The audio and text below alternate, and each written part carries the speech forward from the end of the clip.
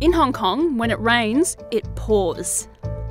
The city is one of the wettest in Asia, with average rainfall measuring 2,400 millimetres or about 94 inches a year. To protect the city from flooding, there is an impressive network of tunnels and reservoirs hidden just beneath the streets. It might not look like it, but we're in Tai Hang at the moment, and this is actually the beginning of Hong Kong's largest drainage tunnel. Hong Kong's West Drainage Tunnel is the newest in a vast underground network. Completed in 2012, this tunnel runs nearly 11 kilometres from Tai Hang to Cyberport. So we're heading really to the end of the line. This is where all of the water on Hong Kong Island will end up. It's where the tunnel meets the ocean.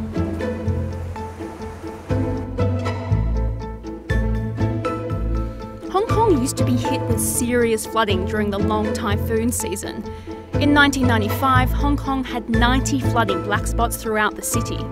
Most of these black spots were about 10 hectares or less in size, which is the equivalent of about 14 football fields.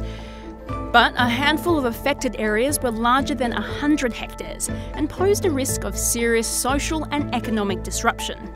It was a big problem that required an even bigger solution.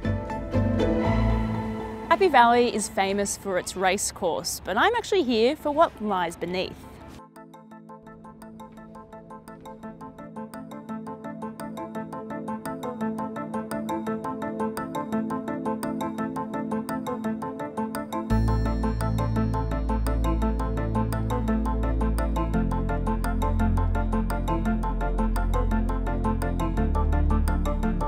Right under the Happy Valley playing fields, you'll find this huge water tank. It can hold up to about 60,000 cubic metres full of water, and that's about 24 swimming pools. The thing that really hits you the moment you walk in is the sheer enormity of this room.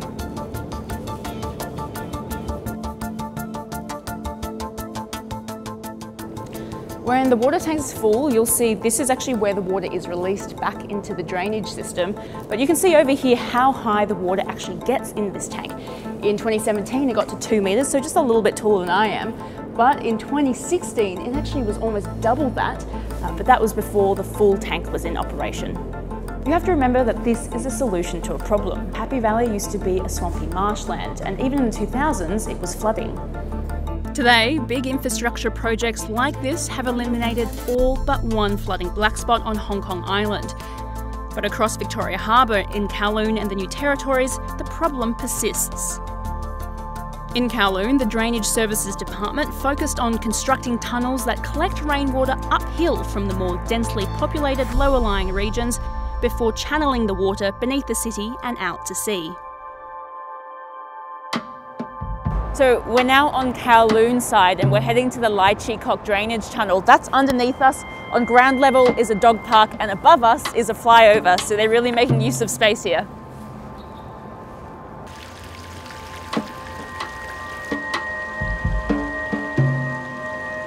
So this is an absolutely massive tunnel. It's the one in Lai Chi Kok and I have to admit it's almost quite creepy.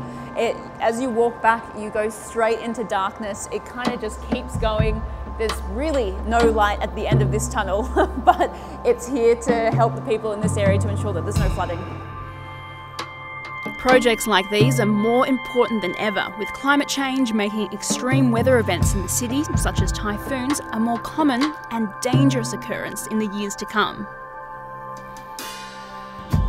As the future presents new challenges to keeping Hong Kong dry, even in the wettest weather, new construction will continue, just out of sight and beneath our feet.